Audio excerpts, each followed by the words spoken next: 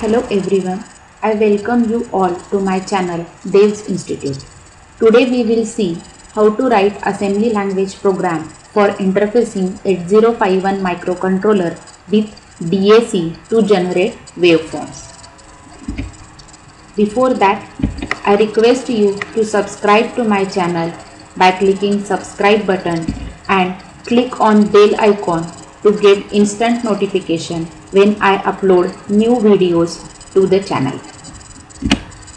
Problem statement Write assembly language program to interface 8051 with DAC to generate square, triangular and trapezoidal waveform. We all know that DAC is nothing but digi digital to analog converter which accepts input in digital form and gives output or displays output in analog form. So to DAC we have to send the digital values so that it will generate the square wave or triangular wave or trapezoidal wave. How to do this? Before that this interfacing of 8051 and DAC is done through 8255 8255 is PPI that is Programmable Peripheral Interface which interface the 8051 microcontroller with the other devices. So this is CWR of 8255. It is 8 bit. This is control word for IO mode of 8255. We are going to use IO mode. We have to transfer input to the DAC so that's why we are using IO mode of control word of 8255. This is 8 bit long. D7 bit is 1 for IO mode. We are using it for IO mode so this D7 bit will be 1. Then bit number D6 and D5 are for group A mode.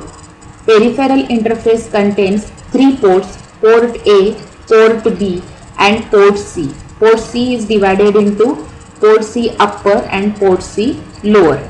So group A, group A mode selection bit is represented by D6 and D5. So here we are using mode 1 simple input output mode. That's why these two bits will be 0 0. Next bit is D4 bit which is for port A we are using port A for output. We are not accepting any input from the peripheral. We are sending output, sending digital number to the DAC. That's why we are using port A as an output port. So this bit will be 0. Uh, both port A as well as port C upper. Here also group B, group B we are using mode 1 uh, sorry mode 0 so this value will be 0 and again port B and port C lower will be used for output purpose. So this will be 0 so this forms our control word for today's program.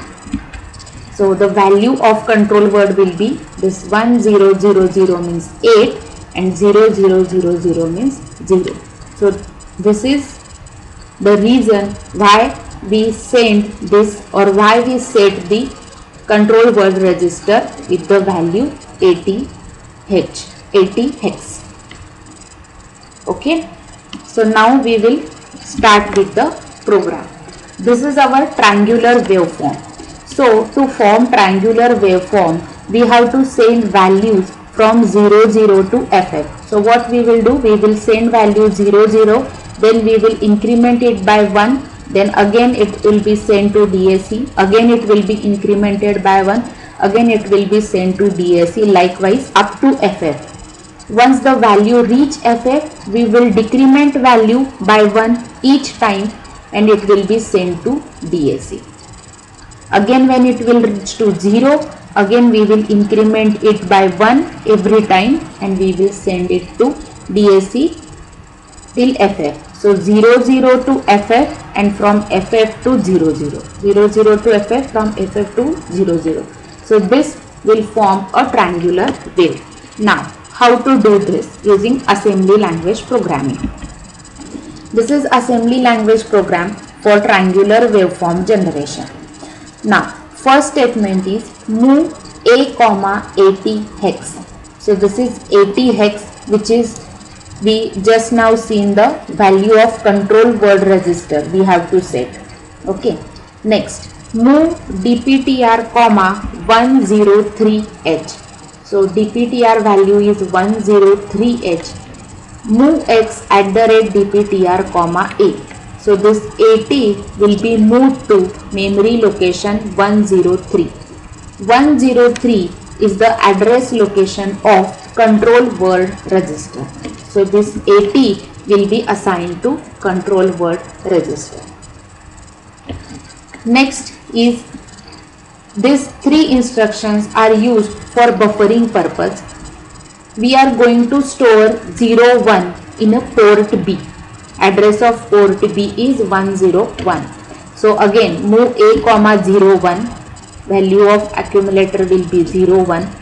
Move DPTR comma 101 value of DPTR will be 101 because port B address is 101.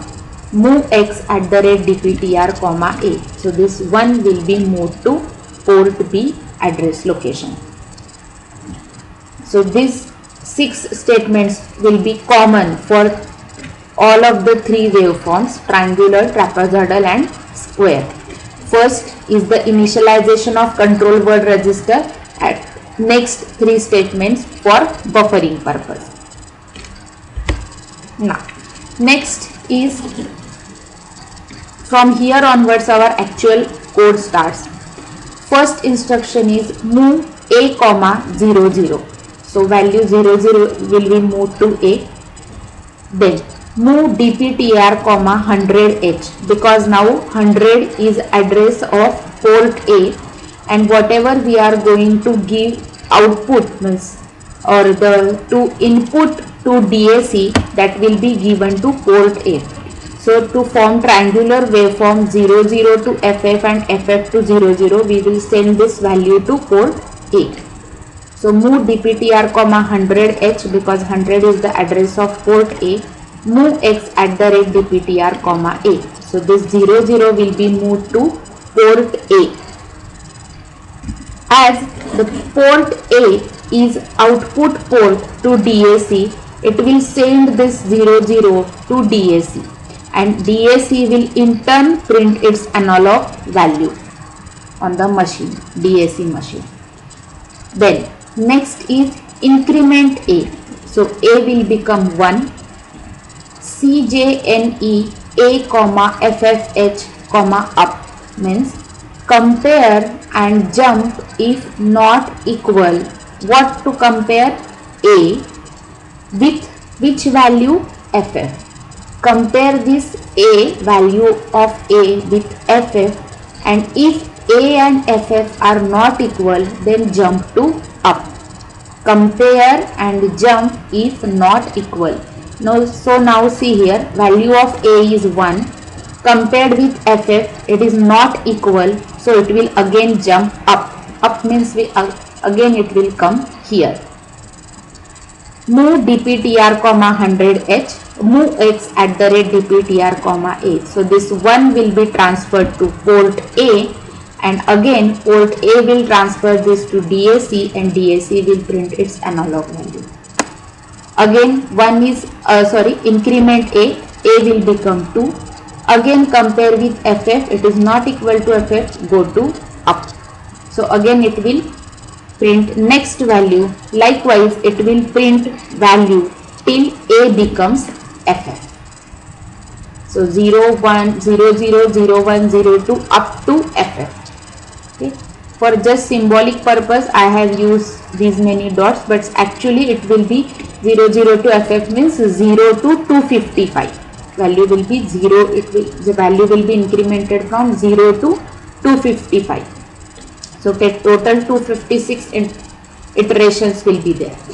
So now it has reached to ff so com compare and jump if not equal to ff so it will not jump now it will come here move dptr comma 100 move x at the rate dptr comma a so ff will be moved here and FF will be printed. Now decrement A. So now decrement A means A will become FE. Then compare CJNE compare and jump if not equal A comma 00H. Now we have to decrement it, decrement it till 0. So compare it with 00, 0 it is not equal to 00, 0 so go up 2, means again go up. So now print this FD. Again decrement it by 1, it will become FD. Compare FD with 0 00, it is not 0, so again go up and print FD. So this process will be continued till A becomes 0 0. So when A becomes 0 0, this 0 0 will be uh, come this uh, instruction will not be satisfied. Compare and jump if not equal. So it will go here jump to main. Main means it will come here. Again move a comma 0 0 h. Move dptr comma 100 and again it will print the uh, again it will start from incrementing from 00 to ff so this is how the continuous triangular waveform will be formed. So this first loop increments it from 00 to ff and the second loop decrements it from ff to 00 and again when it comes to 0 again same procedure is called to increment from 00 to ff this is how the triangular waveform is generated. Next is square waveform generation. So now in square waveform generation we have to form waveform like this. So we have to send continuously 0 then suddenly from 0 to directly ff then for some time ff then after that again from ff directly to 0 and then for again sometime 0 so what we will do? We will send 0 to port a and we will call a delay function. So till that delay is executed this same 0 0 will be sent to DAC when that delay is over then we will send ff so again we will send ff and we will call delay again that delay procedure is executed. This ff will be sent and ff will be converted by the DS. okay. So this is program for square wave generation. Again the first six instructions are same. Move a comma ath and store it in 103 103 is the address for control word register. And this one is for buffering purpose. Then next move a comma 00h 00h is moved and 00h is printed. Dptr 100h 100 is the address of port a and dp uh, move x at the rate dptr comma a. So this 00 will be moved to port a and port a will send it to dsc now after this we in, you, uh, we execute this instruction call delay. So in delay what is written? Move r2 comma ff so till this delay is executed this port a will continuously send this 00 to the DAC so move r2 comma ff decrement decrement r2 and jump if not 0 to up. So again to the same location. Means again decrement and again jump up. Again decrement again jump up. Till r2 becomes 0 so when r2 becomes 0 it will come out of this loop and it will execute next instruction return. Return means it will come here. Okay? So till this procedure is executed port A has the same value 00 so it will continuously send value 00 to the DAC and DAC will print its equivalent analog value. Now return. Return means it will come here. Now move a comma ff so accumulator will be loaded with ffh and FFH will be sent to port A. So now the value or the output on analog directly changes from 00 to FF. Okay, it will jump directly from 00 to FF. It will not increment which happens in triangular waveform. It will not increment but it will directly go from 00 to FF. Again called delay. So when this delay is executed again R2 will be initialized with FF. It will be decremented every time and till it becomes 0 this up instruction will be executed and till then port A outputs FF value. Again when delay procedure is complete it will return return means it will come here long jump back. Means it will come here move a comma 0 0 so a will become 0 this port a will give value 0 and waveform will come from ff to 0 directly. Like this this two uh, these two iterations will be called continuously and square wave will be generated. So this first is to display 0 and call delay and then say the second loop is to uh, send ff and then call delay. So 0 0 call delay ff call delay. Again 0 0 call delay. Ff call delay. Like this square square wave will be formed. Now next is trapezoidal waveform generation. In this trapezoidal waveform we will increment from 0 0 to ff then we will call delay. So value ff will be sent for some amount of time then we will decrement from ff to 0 0 and then 0 is again sent for some amount of time. Again from 0 0 to ff then again ff will be sent and from ff to 0 0 likewise. So this is the code for trapezoidal waveform generation. Again first six statements are same. To initialize control word register with ATH and to send one to port B for buffering purpose. Then next is move A comma 0 0.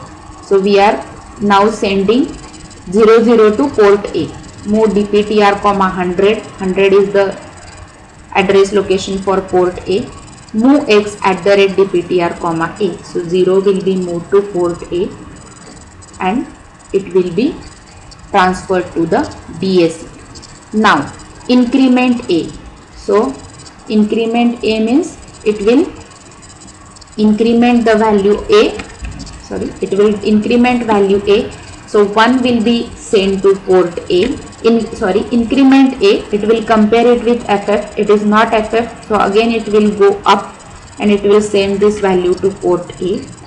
1 so 1 will be sent to DAC like this up to FF okay once it reach ff cjne a comma ff once the a becomes ff it will come to next instruction called delay. It will call the delay procedure. This is the same delay procedure which we have seen earlier. Move r2 comma ff ff value will be stored in r2 and it will be decremented by 1 every time till it becomes 0 so decrement and jump if not 0 r2 so r2 will be decremented by 1 and if it is not 0 again the same instruction will be executed. Up up means same instruction.